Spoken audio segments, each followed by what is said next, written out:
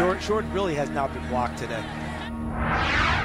The big guy coming up big right there.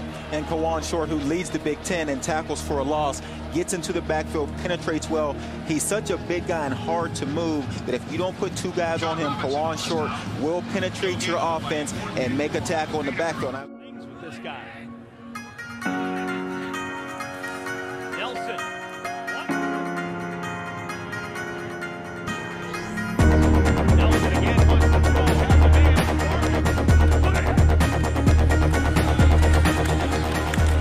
Telling you, Kawann Short, for me, I think the two best defensive players in the front seven today have been Kawann Short and Ziggy Ansah.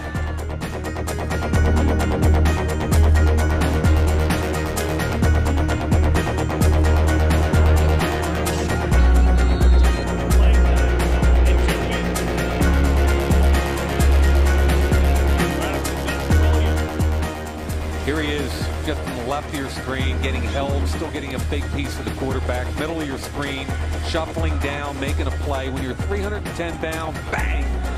He's comes inside, outside. I love him at the three technique, which means you're lining up on the outside of the guard's shoulder and you're looking for that one-on-one block. And, and he's explosive, quick, and has dominated the entire game.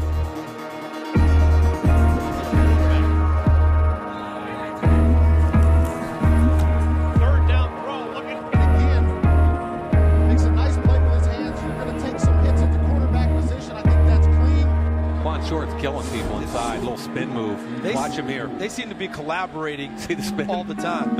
And see, Short just pushes it, and then Jones comes in late on it.